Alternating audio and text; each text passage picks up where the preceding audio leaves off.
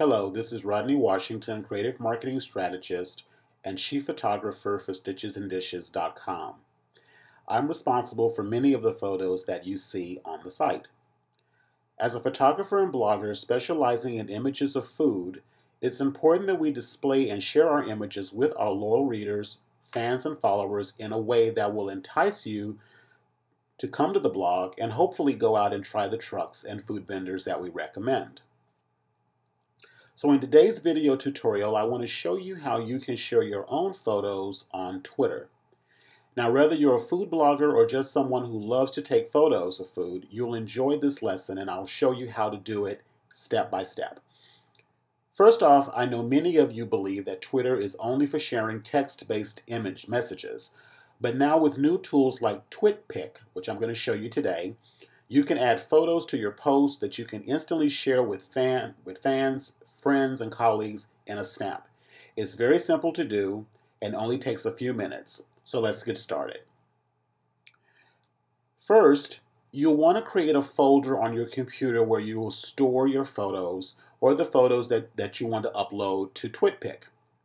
Having a folder created will make it easier for you to locate the images when it's time to upload them.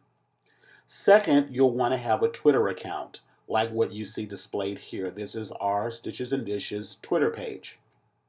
Now, what you what I'm going to show you here, and in just a moment I'm going to actually increase the size of this, is you actually can see if you roll your mouse over these this little library of images, this is actually our TwitPic account where we actually upload the photographs of the food that we actually display and feature on the blog itself. Now, once you set up, if this is your first time actually doing this, you'll have to set up your TwitPic account, which I'm going to show you in the next screen. Um, and then once you upload your images, you'll be able to see them displayed on this profile like you see here. So what I'm going to do is I'm going to go over to TwitPic, which is twitpic, uh, uh, T-W-I-T-P-I-C.com. And if this is your first time coming to this, you'll need to create an account. Now, once you have your own Twitter account set up, you can then basically use the same username and login or password to also log into TwitPic.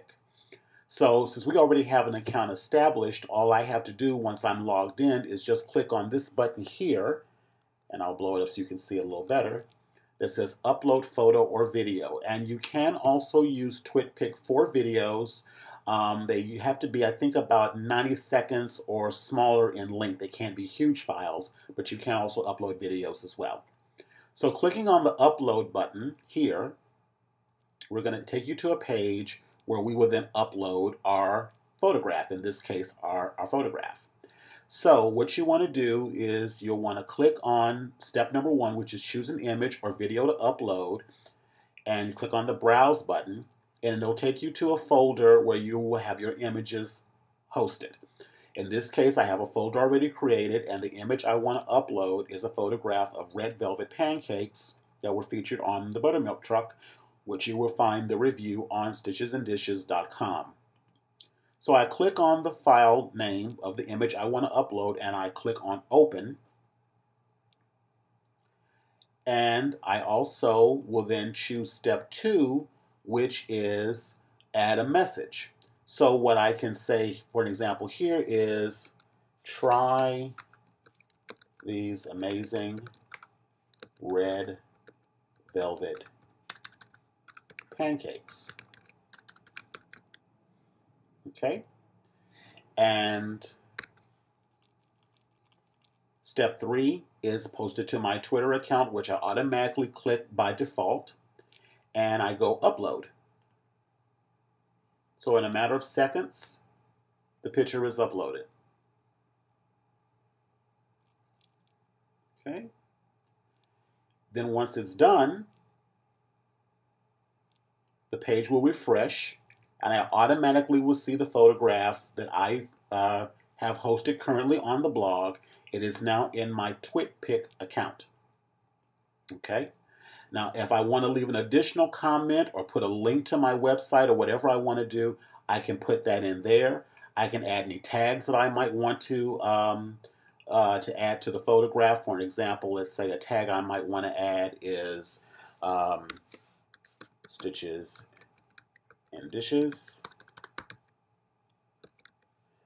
Another tag I may want to add is buttermilk truck because I know that that is the name of the, the food truck where these pancakes were created. And another tag I may want to add is food truck. Okay. And then once I've selected the tags I want, if I have any events I want to add to this, if, if like this is something that's coming up I want people to come to, I might add a link in there. If I want to add a location, if this is something that I want people to come out to, I could add a location to this or just regular Twitter tags. In this case, I'm going to leave these two alone and I'm just going to leave the Twitter tags and I'm going to click add and then it's done. Okay.